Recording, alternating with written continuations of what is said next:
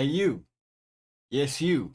Have you ever started recording or streaming on OBS and thought to yourself, man, it would be so nice if I could separate all of my application audios, allowing me to gain full control over my stream's audio quality. Now, of course, naturally, you could go ahead and buy some crappy mix amp software for your computer that'll kind of do the same thing. Or you could go ahead and buy yourself something like a GoXLR or have an entire dual PC stream setup that'll also do it, but just make things very complicated. But why would you want to do all of that where you can come here, watch my video, and let me show you how you could do all of that in OBS itself. And the best part about it, it's completely free. After all, you are now my darling.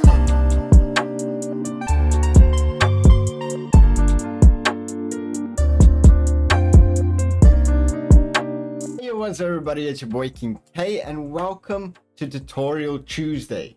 Even though it's Wednesday. Nah, I'm sure it's Wednesday somewhere in the universe, right? Now today, ladies and gentlemen, I'm going to be showing you guys how to go from this to this for completely zero cost whatsoever. Literally, it's completely free. It's really easy to use too. Now, all you'll need in order for this to work is a simple OBS plugin that will be linked down below at the top of my description called Win Capture Audio. Just before I get into the whole setup of this plugin though, I want to be sure to let you guys know that this does not work on Streamlabs OBS. This is strictly usable on OBS Studio itself. Also, I just want to note that I'm not going to be doing a whole audio setting breakdown for OBS itself in this video. I'm only going to be focusing on this plugin. I will, however, be making such a video in uh, the very near future. So if you guys want to check out that video, then be sure to subscribe down below my channel. I'll be sure to make it good. And besides, I post a bunch of different content. So just check out my other content in general. Thank you.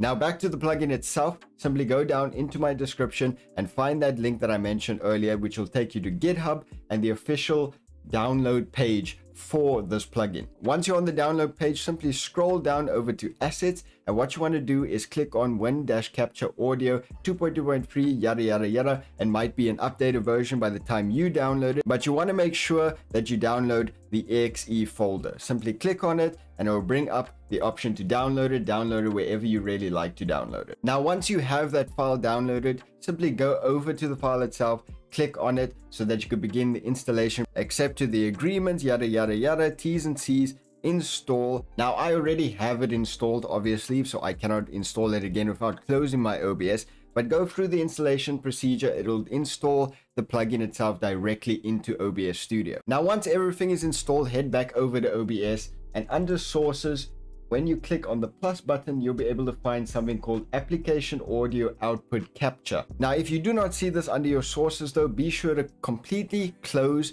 OBS Studio and open it up again in order for it to refresh and actually make the plugin visible. Now that you've confirmed that the plugin is installed and visible on your OBS Studio, your OBS Studio might look a little something like this right here. You guys can go ahead and delete your headset audio if you wish to do so. If you do not, however, have your microphone and headset audio and such under sources itself, that is most likely because you are using global audio devices under OBS Studio setting. Now what I want you to do is go ahead under global audio devices in settings and disable every single option just like I have done right here. Do not worry though, because we'll be adding our microphone and all the other audios back separately. So if you were using global audio devices, be sure to go under sources, click on the plus button and click on audio input capture. You can go ahead and create new and under this, you can go ahead and select your microphone. Now the reason we add devices manually instead of through the settings itself is because it allows you to customize all of your audio settings in a lot more depth. But again, I'm not going to go into all of that in this video. I will be doing that in another video soon. Another reason as to why we do it this way is because the plugin itself only works with output devices and not input devices. Okay, okay, but now that we have all of that information out of the way, let me show you how to use the actual plugin itself. Under sources, simply click on the plus button and head over to the application audio output capture. Click on it and you'll be able to name a new one and create a new audio profile for whichever application you want to use. For this, I'm simply going to label GTA 5 because I currently have my GTA 5 open. I'm going to click on OK and it will bring up a tab that looks like this. Now under mode, you want to keep this to capture specific window You shouldn't really mess around with the capture foreground window with hotkey option. Basically, it allows you to hit a hotkey and it will tell it to record whichever application is currently full screen. This may be viable for certain games if you're too lazy to go ahead and change it, but I would prefer, and I would definitely say it in my own opinion, that you stick with capture specific window. The next thing is the window option, and when you click on it, it's going to bring up a list of all of the applications you have open currently. What you want to do is scroll down on this list until you find the application you want to record specifically. Again, I mentioned that I'm doing this on GTA 5. So as you can see here, GTA 5.exe or Grand Theft Auto 5 is currently open and it will only pick up applications that are currently open. So I'm going to go ahead and click on GTA 5 and that's going to tell it to record all of the audio output coming from GTA 5 itself. The next option available is called window match priority and you want to keep this on match title otherwise find window of the same executional. Man, English is hard. My my sincere apologies. Executable. You want to keep it on this option otherwise it's going to require you to manually change it more often. Now the final option here is a tick box that says capture all audio except the selected window if the window exists. Now, I don't really know why you'd want to use this, but basically, if you go ahead and click on GTA 5 like I did right here, and you tick on this box, it's going to record all of the other things except for that. So I don't really know what the point of it is, and it's not really useful, and you don't want to use it unless uh, you might have like really specific reasons for it, but Otherwise, just leave that alone. Once you are done selecting all of the options you'd like, you can go ahead and click on OK, and it's going to start capturing the audio of the application that you've selected. I've now gone ahead and loaded back into GTA 5 and as you guys can see and obviously here, it is capturing the GTA 5 audio tab. You can also adjust the volume of these tabs individually with the slider, just like what you did before with your headset or microphone audio. I've gone ahead and quickly opened up my Spotify and started blasting music, and as you guys can see, there's no audio coming through whatsoever. However, if I bring up my microphone really close to my headset, you guys can hear that there is actual music playing, but of course nothing is being captured because Spotify is not selected. However, if I go to the audio tab for GTA 5, open up the settings, bring up properties, and go ahead and select under window Spotify instead, Spotify Premium, Spotify EXE, whichever one. And I start playing music now.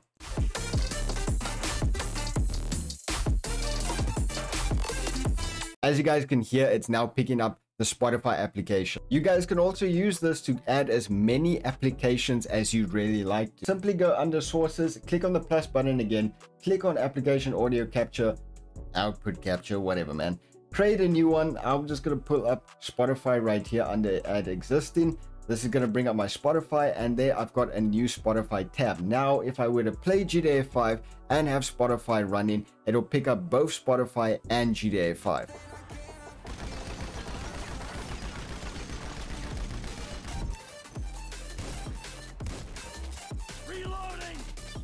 Me personally, I have an audio setup something like this under my audio mixer. And uh, whilst I'm here, I actually want to mention that it's important if you are streaming and you have some sort of other plugins installed or you have browser sources for alert boxes and such, you want to have an audio tab for OBS itself. Simply go ahead and create another output capture and select under window OBS, not properties like I have right here because this is selecting this specific window right here, but the entirety of OBS. Now, whenever you get notifications or stream alerts or any of the kind, it will be playing through this audio tab itself. All right, and with all that being said, I believe I've covered everything you need to know about this plugin. You can now capture all of your application audio separately, change all the individual volumes, and even, of course, add filters and customization, just like any other audio that you were able to before okay? English is hard i've been speaking for too long. Once again just be sure to go under sources and add your microphone back manually if you have not had this option enabled already. Just go over under sources click the plus go into audio input capture select your microphone like I showed you earlier and then you will be good to go. One last thing I'd like to detail about this plugin is a simple downside and depending on what you really do or what you want to use it for it could be major or it could not really be anything at all. The downside to it is only brought up when using applications with more in-depth interfaces or separate audio channels. A simple example I can show you guys is using Discord because Discord is one of the applications I've found to have this problem. I'm currently within my own Discord, link to it down below in the description by the way, just going to point that out there. And I do have a Discord option in my audio mixer itself. As you can see, however, there's only one green bar. If I open up the properties for my Discord audio itself, you'll see that this is labeling music, Thunder Buddies, yada yada yada. Now this is a completely separate Discord that I was recording on with some friends, but if I go ahead and click under window and I scroll down, to the kingdom, which is my Discord server, and click it, you'll see that it now has two green bars up here. And if anyone else is within my Discord chat, their audio will now be picked up. If I go to a different server in Discord though and join into a different call, it's not going to be able to pick up. Even though it shows two green bars here, it's not going to pick up